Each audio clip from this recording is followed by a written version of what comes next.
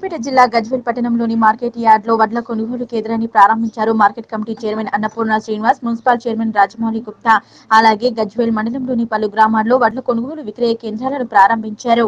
ఈ సందర్భంగా వారు మాట్లాడుతూ సమగ్ర అభివృద్ధికి ప్రభుత్వం పటిష్ట చర్యలు తీసుకుంటుందన్నారు.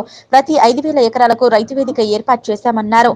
దేశానికి ఆదర్శంగా ముఖ్యమంత్రి కేసీఆర్ ఆధ్వర్యంలో రైతు సంక్షేమ పథకాలు అమలయ్యాయన్నారు. కరోనా పరిస్థితుల్లో సైతం గౌరవ ముఖ్యమంత్రి కేసీఆర్ కొనుగోలు కేంద్రాలు ఏర్పాటు చేశారని ఈ సందర్భంగా మనస్ఫూర్తిగా కృతజ్ఞతలు తెలుపుతున్నట్టు తెలిపారు. ఏ గ్రేడ్ రకం వడ్లకు పద్దెనిమిది వందల ఎనభై ఎనిమిది రూపాయలు సాధారణ రకం వడ్లకు పద్దెనిమిది వందల అరవై ఎనిమిది రూపాయలను ప్రభుత్వం కనీస మద్దతు ధర నిర్ణయించినట్టు తెలిపారు. రైతులు వడ్లను మార్కెట్కు తీసుకొచ్చేటప్పుడు తేమ ఇంటి వద్దే వడ్లను ఆరబెట్టుకుని తేమ శాతం పదిహేడు శాతం లోపు ఉండేటట్టు చూసుకొని రావాలన్నారు.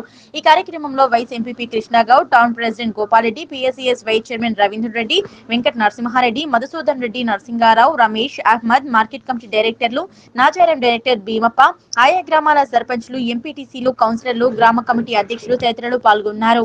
మార్కెట్ కమిటీలో ధాన్యం కొనుగోలు కేంద్రాన్ని ప్రారంభించడం జరిగింది.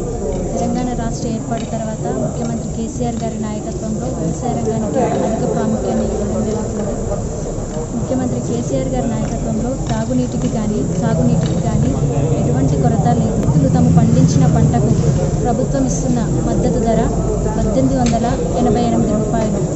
అదేవిధంగా రైతులు తమ పంటను తమ సొంత స్థల స్థలాల్లో ఆరబెట్టుకొని తేమ శాతం పదిహేడు శాతం ఉండేలా చూసుకొని మార్కెట్కు తీసుకువచ్చి విక్రయించవలసిందిగా కోరుతున్నాను.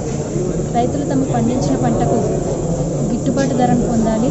అదేవిధంగా దళారులను నమ్మి మోసపోకుండా ప్రభుత్వం ఏర్పాటు చేసిన కొనుగోలు కొనుగోలు కేంద్రాల్లోనే తమ పంటను విక్రయించవలసిందిగా